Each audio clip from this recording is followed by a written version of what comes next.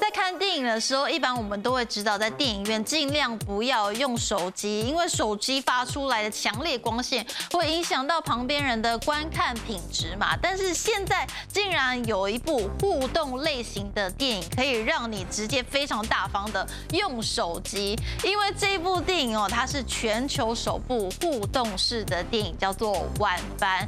在看电影的过程之中，你可以用手机来决定里面的主角他接下来的。故事走向要是什么，他会给你选择，所以以跟你看同一场电影里面大多数人的选择来做决定，说这个故事它会走向什么样的结局或是什么样的发展，所以几乎是人人可以当编剧啦。尤其这部电影《晚班》更是第一部真人实景全动态影像的犯罪悬疑互动式电影。那可能你会在里面哦遇到的选择，像是说你这。时候要逃跑还是留下来，还是你这时候要出卖别人呢？还是要就是乖乖的就范？好，很多诸如此类的选择。在故事里面的主角他叫做马特，他是一位大学生，他主修数学。好，所以你就想了，他是一位非常聪明的人嘛，但是他却莫名其妙被卷进了一场拍卖会的窃盗案。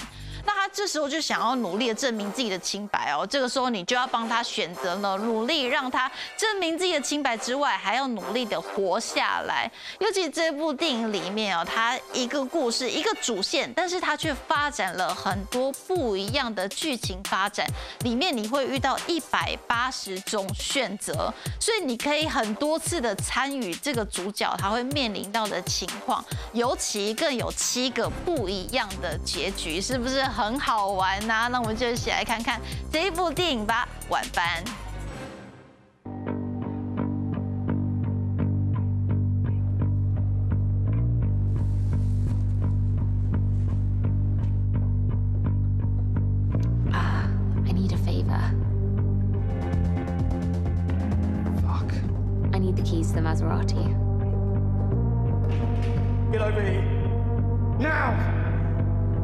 I want you to tie her up.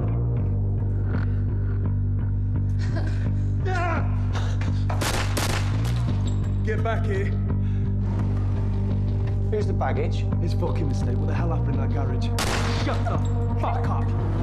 We have one window of opportunity and we're going to use it. Is the ball there? You know, I gave up stealing a long time ago. And I would like to start the bidding, please, at two million pounds. There's a robbery in progress in the basement. Send help. Frank? No, of course I'm not fucking Frank. Send help. Okay, everyone!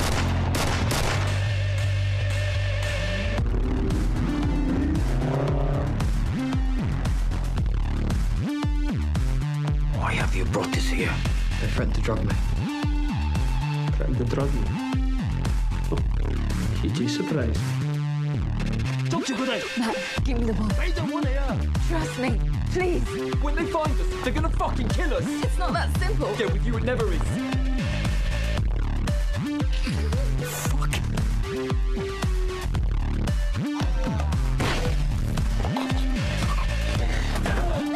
Fucking choice! It should belong to no one. No!